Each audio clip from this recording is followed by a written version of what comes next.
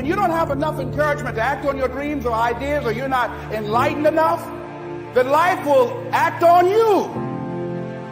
The time you had on earth, you put in work and then you went and dominated one area and then you start coming over and said, now I'm coming into some other areas that are not my areas per se, but I'm gonna bring my greatness over here and I'm gonna kill it. And that's all I'm saying to people. Greatness is in you. Activate it.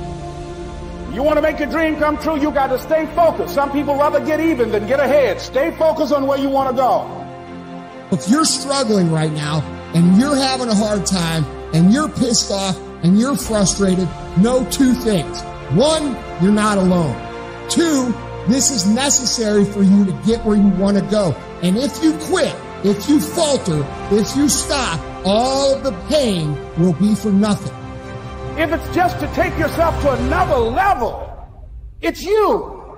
You got to make that happen. We can point out many things that can make it inconvenient or can slow us down. But ultimately, it's on us. Next step is, and it's you to live your dream, to make this, this greatness that you have within you become a reality. What I've come to appreciate when you're working on changing your life. Here's what I, I realize, ladies and gentlemen. It's hard. Easy is not an option. There are a group of people that feel like it's okay not to execute because I'm not feeling okay. Because today is not a good day.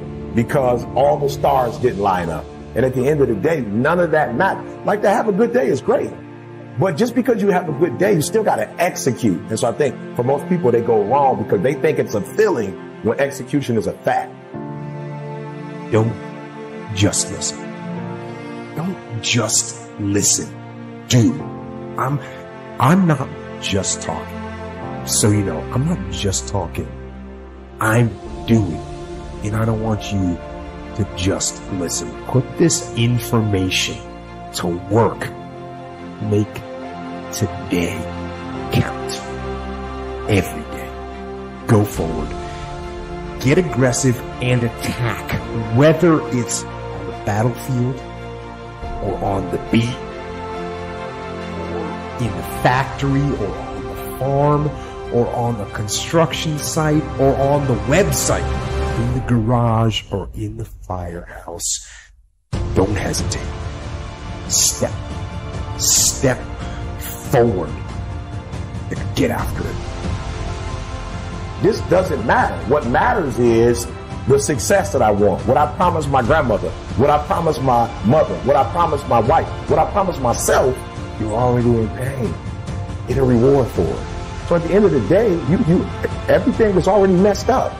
So why would you go through all that pain and not get something for it? Like it doesn't make sense. Like it doesn't make sense to put all those hours in and not transfer those hours to something else. It doesn't make sense not to recycle the pain and get wealth or a successful life, a successful spouse, like whatever, have kid, whatever it is.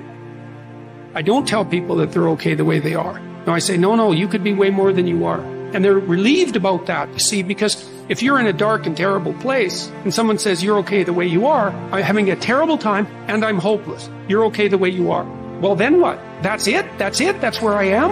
And what do you want to tell a young person? You're 17. You're okay the way you are. It's like, no, you're not. You got 60 years to be better. And you could be way better. You could be incomparably better across multiple dimensions. And in pursuing that better, that's where you'll find the meaning in your life. And that will give you the antidote to the suffering.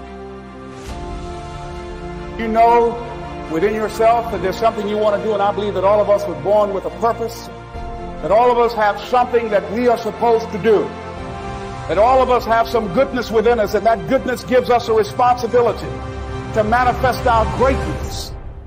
And when you know that, you can feel it in your guts, and you know that you're deliberately operating below your potential, you've gotten comfortable, you stop expanding, you stop stretching, you stop challenging yourself. Let me share something else with you.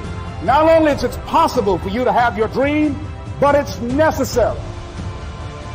It's necessary that you have it, that you work on it, that you develop yourself, that you go for what is yours in the universe.